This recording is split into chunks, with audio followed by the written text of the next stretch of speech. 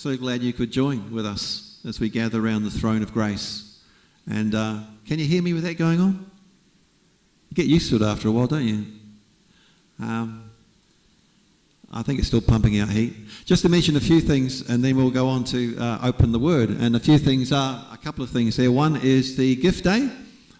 Uh, I believe that's coming up. Just to say, we, we had our gift days the last two Sundays, uh, and I know some of you would have put cards and saying, "Yep, I, I owe you," or we'll put something down. Uh, just be aware of that. Please get ready to redeem those. Uh, but they've been really wonderful days, wonderful Sundays. Those are the three causes, just to remind you again. Uh, Ukraine, obviously, we want to be able to give into that. Those who are really struggling in ways that um, none of us have ever experienced. Many, many people who are just needing help.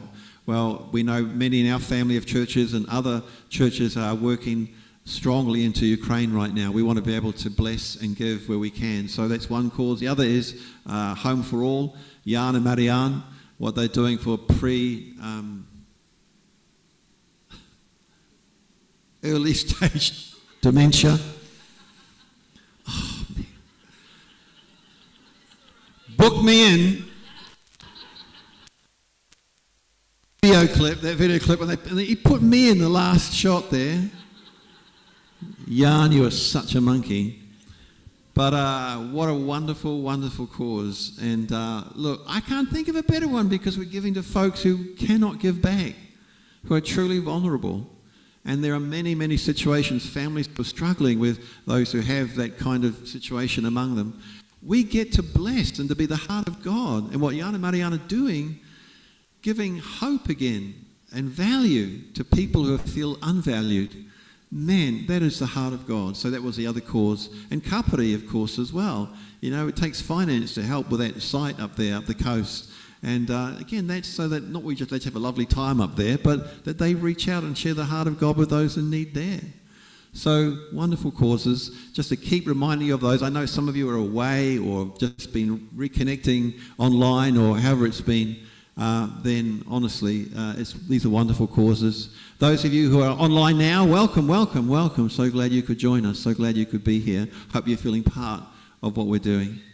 Um, so that's that. Second thing is the prayer feedback. Just to say, we kind of had these prayer times during the week, various times, uh, and they were a real success actually. So we had three times during the week at various times, and we just want to try and we, we know that it's a good thing. We just want to try and hone those times now to where people want to have them. So some of you have been feeding back, oh, I can't do that time, but I like this kind of time. Please keep doing that through email or tapping uh, us on the shoulder. Then look, we want to hear that.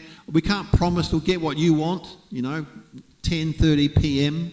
between the news and the, the, the late night film. I, I, we can't do that. But uh, look, we're wanting to just genuinely have uh, up the, the times of prayer among us as a people. So please get back to us. It's that. And uh, I think that may well be it. So Wonderful. So now we get to continue really to get close to the end of the series that we've been doing, the Gospel of Mark. And that's been great fun. And uh, I trust you got a lot out of it. And Matty P is going to come and open the word to us. So I want us to put our hands together for Matt, a wonderful gift teacher. Let's receive all that he's got. Shall we? Hands together. Matt. Go, Matt.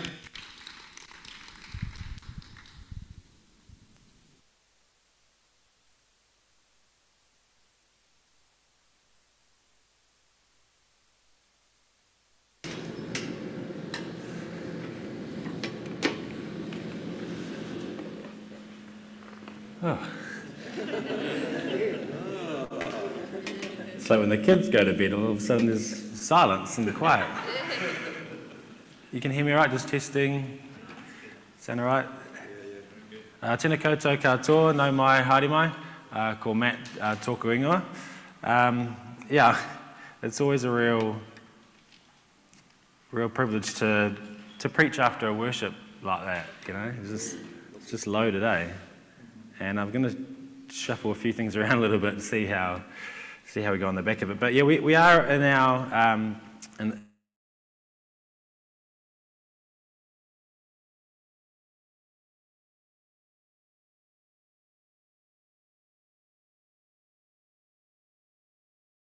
been really stirred and shaped by this as we've looked at um, discipleship, you know, this costly call to, to follow Jesus. What does that, what does that look like? I think it's been really refreshing in our, uh, in our sort of current climate at the moment. So we are looking at um, uh, our passage today, which is Mark chapter 15. Uh, there we go, Mark 15, verse, uh, from verse 40 onwards. And so if you've got your Bibles, um, open them up and, and, get, get turning to that. Um, but just, just to set the scene for, uh, for this passage, the, um, the, back, the backdrop to this, this story about the empty tomb is, of course, um, that Jesus has just been, been crucified.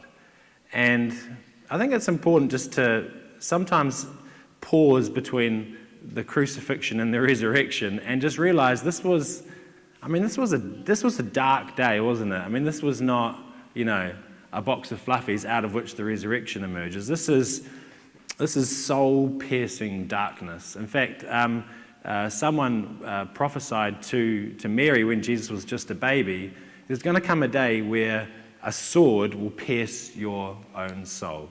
And that was, that was um, Simeon's warning to, to Mary about Jesus' vocation as the Son of God. And this, it's, it's actually out of this darkness, you know, the, the most sort of tragic moment, you might say, in the disciples' lives, that the resurrection story, uh, the light of that shines forth. And it's, uh, it's quite a sombering sort of moment when you think about it. So what we're going to do with that in mind is just walk through the story um, now. So uh, not, the words aren't going to be up on the screen, so I want you to grab your Bibles and follow along.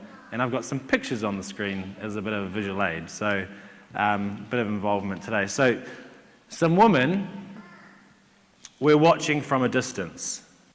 Among them were Mary Magdalene, Mary the mother of James the younger and of Joseph, and Salome. In Galilee, these women had followed him and cared for his needs. Many other women who had come up with him to Jerusalem were also there. It was the preparation day, that is, the day before the Sabbath. So as evening approached, Joseph of Arimathea, a prominent member of the council, who was himself waiting for the kingdom of God, went boldly to Pilate, the Roman governor, and asked him for Jesus' body. You've got to remember, this is the same council that has just condemned Jesus to death. And Joseph himself was a disciple in secret because he, he, um, he feared the people. Uh, so this was a bold move for him to, to, um, to do. And Pilate was quite surprised to hear that Jesus had already died. And so, summoning the centurion, he asked him, Has Jesus already died? I guess the other thing to note as well at this moment is a Roman centurion is more or less a professional killer. You know, it's, it's their vocation. And Rome crucified so many people that this was just like another day at the office for them. You know, this was like Thermosash putting another curtain wall window in on a Tuesday. You know, for him, this was just another day at the office, and he was ruthlessly efficient. So, yep, he found out that Jesus had in fact died, and uh, he learned from the centurion that it was so, and he gave the body to Joseph. So Joseph bought some linen cloth, took down the body, wrapped it in the linen, and placed it in a tomb cut out of rock. And, and elsewhere, we, we learn that it's actually Joseph's own tomb that he had um, given to Jesus to lay uh, in there. He rolled a stone against the entrance of the tomb, and Mary Magdalene and Mary, the mother of Joseph, saw where he was laid. Just pause there for a moment and just think about it on that day. The sun is setting it's the worst, most grievous day of their life. I mean, their hopes are dashed. This is not an oh happy day. you know what I mean? They're not writing that song in this moment. This is agony and tears. And anyone who has been through unexpected grief can empathize something of the wake, that, of the emotion that these, uh, these women and, and others were feeling. I mean, they were in shock. They would have been inconsolable. They would have been feeling very fearful and very, very vulnerable.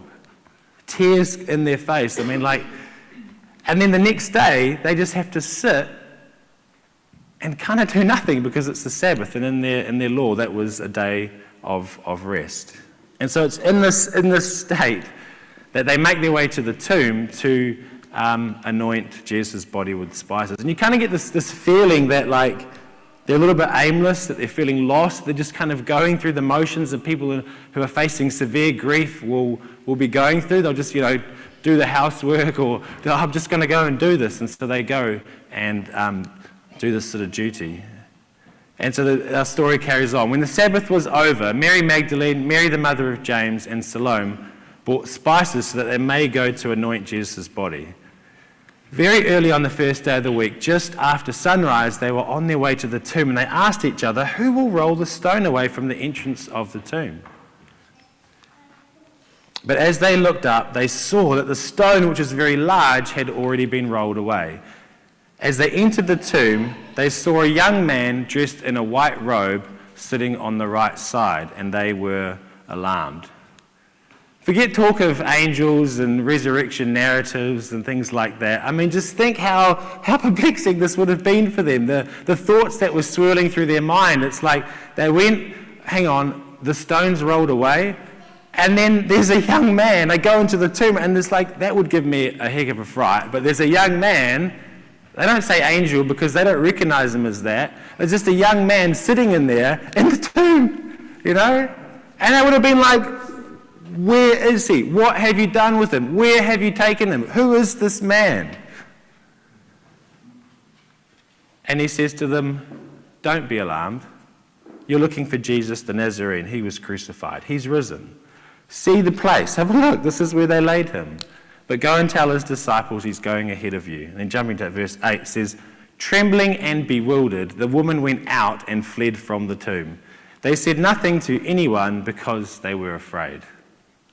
It kind of reminds me of the disciples in the boat. You know, Jesus speaks to the storm, and, and, and, and the storm calms down, and then the disciples are bewildered and terrified. It's like it's a similar kind of reaction, like, who is this guy?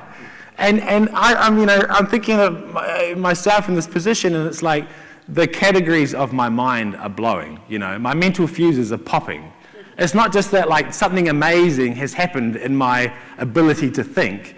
It's just like, it's next level stuff. You know what I mean? It's just, it's blowing my whole mind. Like, hang on, he's alive? He's coming. What? What is this? I mean, I had big hopes for Jesus, but coming back from the dead, I mean, like, I have no idea what's going on right now. And then, other than an extra ending at the end of Mark that was most certainly added at a later date, Mark's gospel finishes. It's a cliffhanger, eh? Now, I, I love reading books to my kids at night, and I pride myself in a good cliffhanger. It might not be the end of the chapter, sometimes it's halfway through, but I love a good cliffhanger for my kids. And the reason I love it is it keeps them coming back for more. And it keeps them engaged in the story. And they go, oh, Dad, no, you can't stop there. And when they go to bed, it's like their mind is racing as to all the implications of what's just happened. And often it keeps their imagination bubbling as to what does that mean for me? And some scholars say, oh, there was a back page of Mark and it got a bit dusty and fell out the back. And others say, well, actually, Mark intended to finish in this way in order to create a bit of a suspended ending of that gets you thinking, of what does this mean for me? So, and that's where Mark ends. So we're going to have a look at a little bit of the significant significance at the moment. But one thing I love about Mark's account here is how heavily it features characters. You know, we all love our, favourite TV shows, you know. I don't know what you're watching at the moment. Maybe you want to share it, maybe you don't. But um, we love our characters, and the reason is we love to see them how they progress. You know, and the best movies allow the characters to, to grow and develop in the plot line, don't they? We love a good character. So does Mark. Mary, Mary, uh, another Mary, and Salome, Joseph. What, and what's happening in, in, in Mark's account here is he's, he's not just telling, a, a, a, you know, he's not just factually retelling a series of events. A happened, then B happened, then C happened. Now, what he's doing is he's taking these characters and he is he's enabling us to see like the shockwave and the impact of what happens when this amazing thing, the resurrection, happens in their life. And what we get to see in their life is that this moment of the empty tomb is transformational for these characters, as it should be for in, in our life as a disciple as well. And uh, so, just to unpack this a bit more, I want you to imagine for a moment that you are a director of a nature documentary film. All right, just go there, with there, go there for a moment with me, right? And, and it's your job to, to film a wave, you know, maybe somewhere out there in the ocean. And what could you do as a director? I mean, you could grab a drone and, and you could just sort of like get it to follow this wave and just, you know, wave in the middle of the ocean, you know, and that's kind of the shot. Or what you could do is to take a beach, maybe, a lighthouse, a, a coastal cliff, and film the moment that the wave boom, crashes into this object. And you would learn something about the wave just by looking at this object, keep your eyes on the object, and then boom, the wave crashes into it. And it's like you can learn something of the bigger event that's happening. You'll never get a full glimpse of how powerful this wave is and you know how much energy is in it, whatever. But you'll see something of the moment in this ordinary, everyday thing when the wave comes in. And when it comes in, you bet that this little object is going to be transformed. It's going to be a pivotal moment for that. And what I love about Mark's retelling of the story is he just takes ordinary characters you know, the tenth Mary in the gospel, you know, uh, you know, another Joseph, you know, it's like, my goodness. Uh, and, he, and boom, the resurrection crashes in on them. And it's a pivotal moment for them. And I find that really refreshing because for you and me, hey, we're just everyday, uh, uh unassuming, ordinary people. And the call is to let the power of the empty tomb and the resurrection bring transformation in your life and let it be a pivotal moment. And so you can enter into the story and be like, wow, this has, this has an implication for me. God is calling the empty tomb to have an impact in my life as a disciple. I love that. I love it. Now, just to expand on this image a little bit more, as I was praying for this preach, uh, I saw an image of a, a, a large stride, like someone taking a giant step. And as this wave is crashing in, it's like as a disciple, we are called to step out of certain things and into better things, into other things. It's a moment of transformation. For example, we are called to step out of fear. And we're called to step through that into great courage and witness. And we see that, uh, we'll see that in a moment as well. Or where it's called to step out of, as this big wave looms on us, ordinary characters, we are called to step out of silence and into bold witness to the resurrection. The tomb is empty. It's good, hey? So, what I want to do now that I've set that up is look at a couple of characters, Joseph and, and the woman, and just see what did they step out of and what did they step into, because I think there's some important discipleship lessons. And I'm going to jump a couple of points because I feel on the back of our worship time, I just want to highlight one in particular, and whatever I get time after that is a bit of a bonus, okay? So we'll see how this goes. So let's start with um, Mary, Mary, and Salome. Skimming down on my notes a bit here. Here we go. Let's look at these three women. What can we learn from them? What do they step out of, and what do they step into as they encounter the empty tomb? Well, I think they step out of the unassuming. And that's, uh, there's a lot in that word. So let me just unpack what I mean by that a little bit more. By unassuming, I, I mean silence. I mean an insignificance. Uh, I mean being hemmed in by cultural expectations or roles. I mean watching from a distance. Mark actually says he has them watching from a distance. It's being on the sideline. It's being unassuming.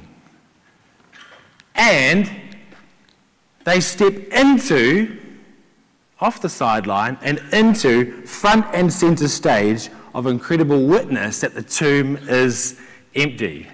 Now, it's fair enough to say that Mark ends on a cliffhanger as to whether the women actually do go and witness in that way. But the point is, it's that the empty tomb that's pushing them and thrusting them forward to say, You go, you go, get off the sideline, stop being unassuming, this is a really big deal. He's alive. Let's think about their encounter for a little bit. They take spices, which are basically to, as I understand it, to kind of, you know, stop the bad smell. and they take, uh, they take those to anoint Jesus' body for burial. But what they haven't realized is that another woman has already done that days before by pouring uh, perfume on Jesus' feet. He's already been anointed for burial. And they need to catch up with the events of the kingdom arriving, what this big wave actually means for them. They needed to catch up with their role in the coming kingdom. And my challenge is you may need to catch up with your role in all of this as well. You see, these women had, had seen, like first hand seen. Mark has them watching at the cross. They see where he was laid. They see the stone rolled away and the empty tomb and the man sitting there. They see it, they see it, they see it. In fact, one writer says um, the way that the uh, Gospels repeatedly make the woman the subjects of verbs of seeing, in other words, in the Greek, like partnering the woman with the verb to see, clearly shows that the Gospels are appealing to their role as eyewitnesses. You see, Jesus didn't need their spices, he needed their witness. You know what I mean? It's like, lay that down. This is what's actually happening. And, and an they're like this unassuming woman. They're like, oh, hang on, put that down. I'm off. I love this. This guy, Richard Bauckham, I'm reading a book of his at the moment called A Study of uh, the Named Woman in the New, in the New Test in the Gospels. And just getting a lot out of it, really. And he, he goes on to say, for the woman, faithfulness to loved ones through shame and death is a culturally expected role. But their encounter is, uh, transforms their faithfulness into something more than their accepted cultural role the vocation to be witnesses of a world transforming event. It's like, wow, as Jesus followers, as disciples, as a church, as men and as women, we need to realize there is no sideline Jesus is calling you to hang out on, to watch from a distance from. Now, as unassuming as you may feel at times, you are front and center of what God is doing in this land. Step out of feeling unassuming and step into amazing witness, bold witness. This is what we're called to do at the empty tomb. See, you know, show of hands for who feels unassuming at times, you know, it's like everybody. you know, there are people who will not hear and see, who will not encounter the gospel unless this small group of disciples in this room play our part and step out of feeling unassuming and into the next season of significance. It's like, what are we waiting for?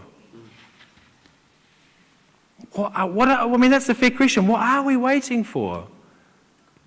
You know, more prominence, more numbers, more funds. I don't know, like more louder band. I tell you, every one of those things is more than what those women needed to go and tell for the very first time that Jesus was alive. You know what I mean? Like, we have already more than what they had. Already more. We're called to go. It's good, eh? It's good. So we're called to step out of the unassuming. Now I'm going to bounce back now because I think this next part from Joseph. Let's go to Joseph. What does that look like for us? What what did Joseph step out of and into? Well, I think he stepped out of a waiting for the kingdom and into an arrival of the kingdom. But I need to unpack that a little bit more. What I mean by that is that he was, he was waiting for the kingdom as he thought it should look like. You know what I mean? As a, as a, as a good Jewish, God fearing man, he was praying for the kingdom to come as well. But for him, that looked like military victory, end of taxation, you know, the fulfillment of God's promises, and the, like obedience of the nations to the Messiah. That's what he was expecting. I'm waiting for this. Before I do anything, I'm waiting. He stepped out of that and into an engagement with Jesus' kingdom. And what did he step into there? he stepped into a tomb. Do you know what I mean? He, he didn't step into prominence and wealth and, you know, like big flashy. No, no, he stepped into a tomb. And it was there he learned what the kingdom arriving really looked like and really meant. So as we get stirred, yeah, yeah, yeah, we can do this. We're not unassuming. What are we stepping into? A tomb. Just the heads up, guys. Sorry. it's not like, you know, I'm going to be like, you know, uh, you know, New Zealand's, you know, most prominent amazing church and win all these awards and stuff like that. No, no, you're going to be stepping into a tomb, guys. This is what the empty tomb means. Let's unpack this a little bit more. Uh, Joe, uh, the, the, the passage here says that he was a prominent member of the council. I mean, this guy was honourable, reputable, wealthy, respected. And, uh, you know, so he was, a, he was a pretty up there guy. He was a high flyer, right? Had all list of things at his disposal. And what he did when he, he came to Pilate and said, Can I have his body? I mean, that would have likely cost him something of his reputation with his peers. It would have been a sacrifice. He may have even get booted off the council. I don't know. But it would have been a bold thing for him to have done. At that moment, he realized he needed to lay down his expectations of what the kingdom looked like and embrace this otherly, upside down kingdom, where to be first means to be last where, you know, to be poor in spirit is to be blessed. Like he's like, oh, hang on, this is all upside down. I'm stepping into a tomb.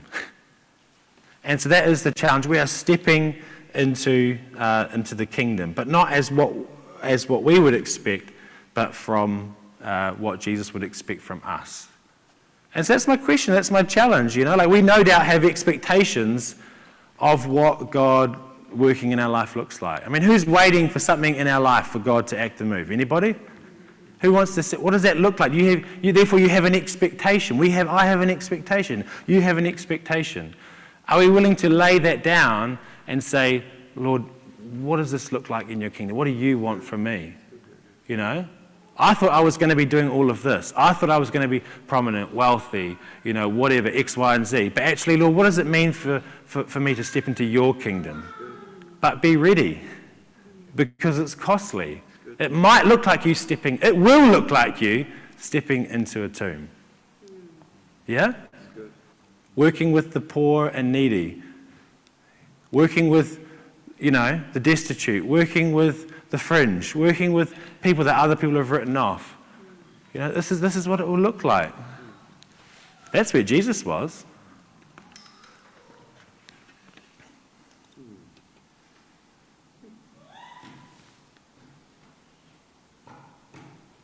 We need courage for this, eh? You can see the flow here. It's like, yeah, we're amped up. Oh, hang on, this is going to be costly. I need some courage. Cool, let's look at that next, all right? Joseph stepped out of silence and into courage, into boldness. You see, it was uh, John 19 says that um, he was a disciple in secret because of fear. So what do we do with that? We're like, yep, oh, oh hang on, wait, I'm scared. what do we do now? We're called to step out of that fear. I love that famous Nelson Mandela quote that says, I learned courage was not the absence of fear, but the triumph over it. So in Christ, there's a way to triumph through our fear, maybe not to step beyond it, but actually to step through it and integrate courage. But how do we do this? How do we do this? Well, I want to propose we do it together.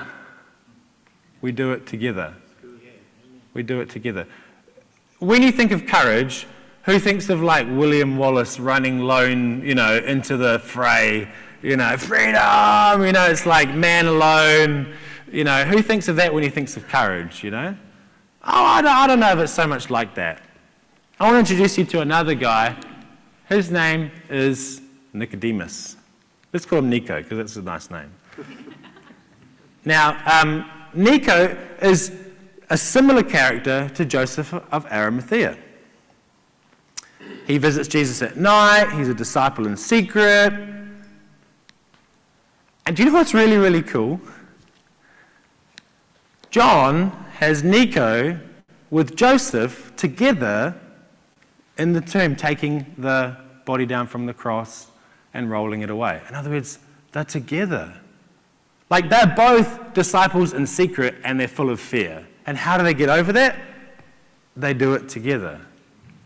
Like, courage is contagious. Who's ever seen something that one of your closest friends or someone has done, you're like, ooh, ooh, maybe I can do this, you know? Unless it's something dangerous, like just be careful. Like don't jump off the cliff that your grandson's just jumped off or something like that. Just, you know. But it's true, it, it, it, it, it's, it's contagious. And I think this is really, really cool. And just as a, if you're interested, this, uh, I don't know, have you guys heard of The Chosen? I don't know, maybe I'm just late to the party. But, um, but I've been watching a few of these with the kids. And there's an episode where Nicodemus features heavily. And I was nearly in tears as, as this guy is like grappling with what it means to be a disciple as he, as he, as he visits Jesus in the night. And, and, and, and you know, and the, the fear and the, oh, the what, what, does this mean? The grappling, will he, won't he? Well, the cool thing is, the moment where he finally does, he's got Joseph of Arimathea with them, doing it with them together. Come on, guys, let's do this. I bet you they were geeing each other up. I bet you they were like punching each other in the arm. Should we do it? Should we do it? Should we do it? You know? And off they go. I bet you they were. So to be courageous is not to be alone, it's to be with others. You can't do this on your own. You need to be in community. You need to be plugged in, whether it be a small group or close friends or people that you do, you know, um, you know, sharing a car ride with or WhatsApp groups or prayer. I, I challenge you to find out what it means for one of your closest friends to be courageous this week and encourage them in that. You know, rather than focus on you, what do I need to do? You know, like we all need, we all do that, but it's like, well, hang on, what does, what does it mean for my buddy to be courageous this week. I'm going to encourage him. You know, he's going to be the Nico to my Joseph. You know, like it's, um, let's, let's do that, all right? Let's do it together. Let's do it together. All right. So they stepped out of silence and fear and into bold, uh, into bold witness. Um, I think I'm going to stop there. I had one more point, but I think that's probably a preach for another day. Um, so I'll skip that point there. And what I want to do now is talk about the last, the last character, which is you. which is you. You see, the way Mark ends invites you to realize that you are part of the resurrection narrative. I mean, all the people that we're reading about their time is gone. You know, they're in glory. Now it's you, you know. It's, it's you. You are in this fulfillment of the ending of Mark that just kind of drops off the cliff. All right? It's, it's us. It's you. It's me. And I just want to encourage you really to, to reflect on that they had to face up to, and we have to face up to the news that the kingdom has crash landed among us and it's called to be a transformational moment. And now we are involved in the story. We are the Josephs, we are the Marys in Porirua, in Upper Hutt, in, in Wellington, you know, in Porirua, like in these places. This is, I want you to see yourself in the story. Because you are no more or less unassuming than these ordinary characters that we're reading about, who just sort of all of a sudden found themselves center stage with like world history playing out in, in real time in front of them. That's us right now, nothing less. And so, my question is what do you need to step out of? And what do you need to step into uh, as you contemplate the empty tomb? Will you allow it to propel you forward and to step into boldness, both individually and, like we've been talking about, together as well? And will you witness to Jesus' kingdom and allow this to be a transformational, pivotal moment in your life? This is my cliffhanger. Amen? Yeah. Let's stand.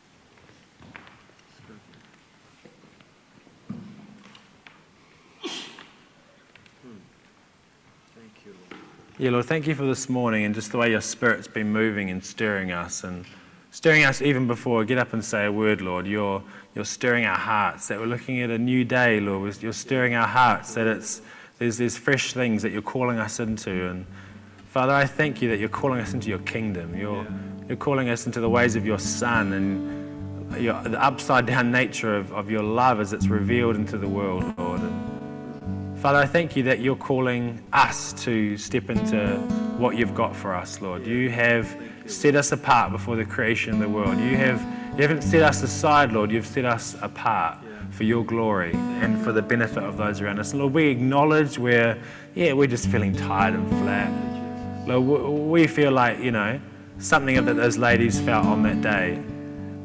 But it didn't stop you from breaking into their reality and ushering them into a new new thing. Lord, we want to lay down our spices. We want to lay down the things that are out of time, out of step with you. And we want to step in with great boldness and courage into everything that you've got for us, Lord, in our community.